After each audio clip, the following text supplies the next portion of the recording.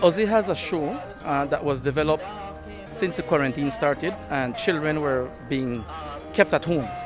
And I wanted to see how I could reach the children for them not to be bored and for them to be able to learn something and, and see something different and new.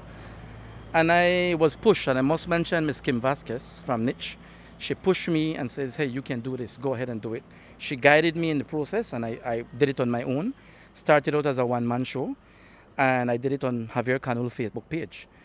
Fly It, away, it is Peter. 12 shows now Peter is gone. and the show has been constantly gone Fly away. Paul. Um, Paul is gone. one of the interesting points about See, the Ozzy show gone, that Peter's we gone. feature is Come the Ozzy Challenge. Peter. And on the Ozzy Challenge, Paul. we tend to feature anybody who wants you to do this challenge. That.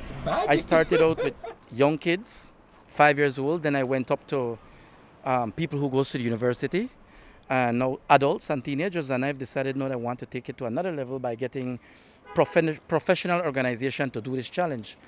One such professional organization is the fire department, check. and they have come Comment. aboard and they have done the Ozzy challenge, and it's catching on pretty fast.